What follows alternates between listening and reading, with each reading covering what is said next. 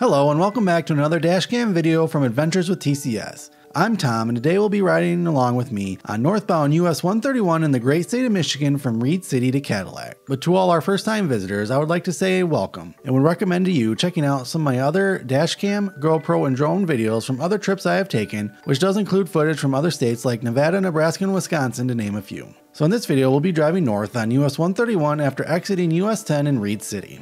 From there, we will pass by Leroy and Tustin on our way into the town of Cadillac.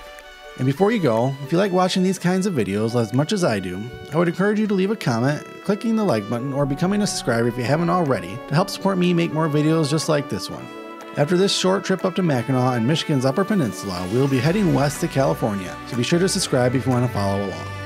But for now, I'm going to continue driving north on US 131 in the central part of Michigan's Lower Peninsula.